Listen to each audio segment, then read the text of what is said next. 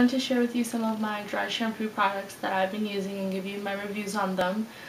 As you know, we're always really busy and sometimes we don't have time to wash our hair every day. I try to make it a point to wash my hair every day because it gets too greasy for me. But there are things you can use such as dry shampoo to take care of the oil on your hair until you get a chance to wash your hair. And Tresemme has recently come out with an affordable line of dry shampoo type of products. And I already wrote a review on these products on my website at abeautyaddict.com so you can check that out there. And so this is the dry shampoo. It's in a bottle like hairspray. It has a nozzle and you just spray it onto your scalp and then you just kind of like rub it in when you spray it so you can distribute it everywhere and it's supposed to absorb the excess oil on your hair.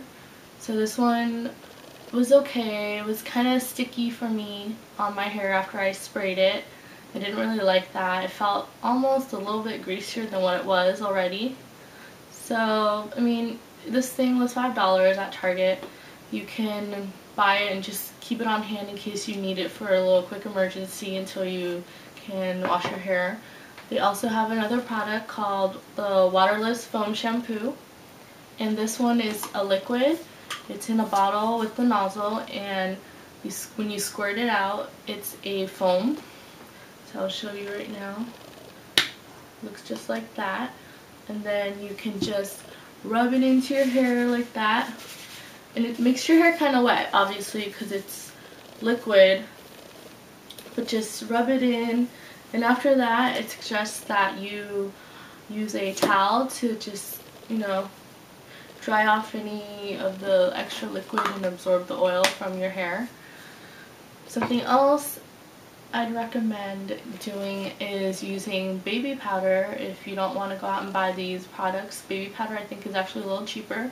Both of the products I just showed you are $5 each at Target you can use baby powder and then just do the same thing pour it into your palm and then just rub it into the areas where you need it.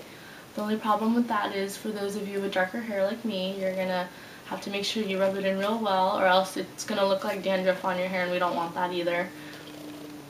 And finally there are a lot of other dry shampoo type of products and powders available at stores like Sephora which you can go in and test it so you can go in there with your dirty hair and just spray it on and see how well it absorbs the oil and if you like it. I got this is the Fekkai Au Naturel dry shampoo and it's a powder. I got this as one of my beauty perks from being a beauty insider at Sephora and basically just this little bottle it's just like um, baby shampoo and there's powder inside and this little nozzle so you can just kind of just tap this onto the top of your head and let it distribute and then again rub it in to make sure it gets evenly distributed and that will absorb your hair. And another little tip I have is if you don't have baby powder or have any of these dry shampoo products you can actually just use regular hairspray like this this is from Tresemme and what it is is hairspray has alcohol in it and alcohol will absorb the oil on your scalp and you can also style your hair at the same time so it won't look so flat and dirty. What I do is just spray some on the roots like that and then use a rat tail comb brush or a teasing brush. This is a teasing brush and then just take a section and comb back to give your hair some volume and so that your hair doesn't become a big clunk with the hairspray that you just sprayed. So it kind of distributes the hairspray also. But yeah this is just a really good inexpensive way to take care of your second day hair.